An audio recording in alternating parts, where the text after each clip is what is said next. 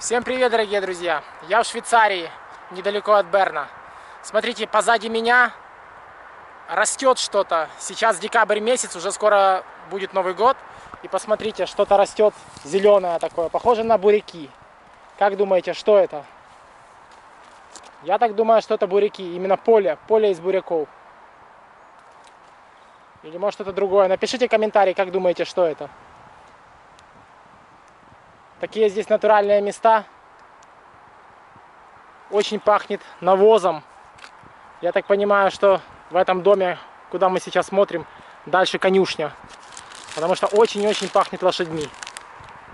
Вот вам и натуральная природа в Швейцарии. Так, хотел бы вас с вами еще кое о чем поговорить.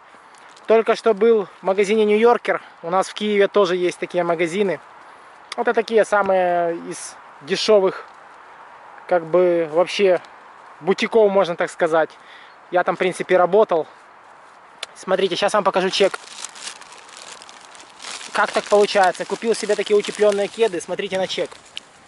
Украинский флаг 949 гривен. 949. А оказалось, что цена получилась полторы тысячи гривен.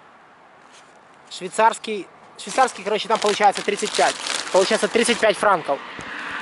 И как так? 35 франков как бы нарисовано на картинке и на украинском флаге 950. Короче, этим словом не рассчитал чуть-чуть. Получается, полторушка стоит кеды, которые я купил.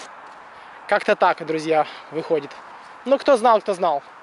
Никто не знал, что так может получиться. Так, мои все поуходили. Мои все поуходили пить пиво. Я тоже себе купил пиво, но теперь не знаю, где его выпить. Потому что я немножко так в магазине застрял. Ну, смотрите, вот какая природа здесь. Вот как-то так. Такие старые дома.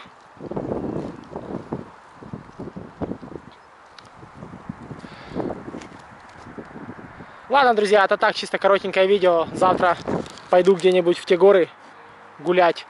Будем там снимать какие-нибудь видосы.